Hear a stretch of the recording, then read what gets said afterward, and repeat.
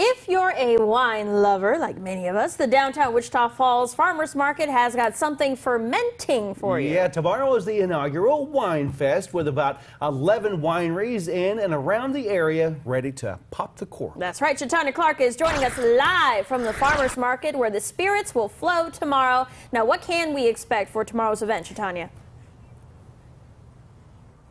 Well, guys, folks with the farmers market are hoping this space will be packed from 10 a.m. to 1 p.m. as they kick off what could be the first of many local wine fests.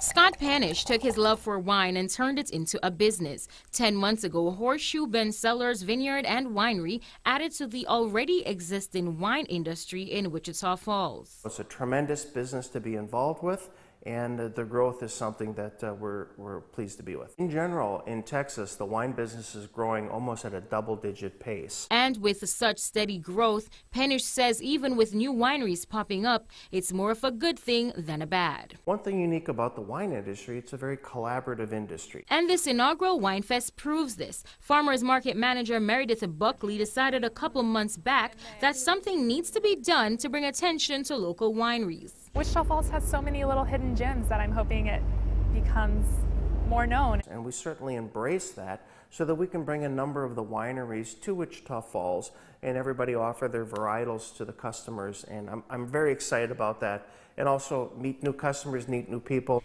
Buckley and Panish are hoping for a great turnout.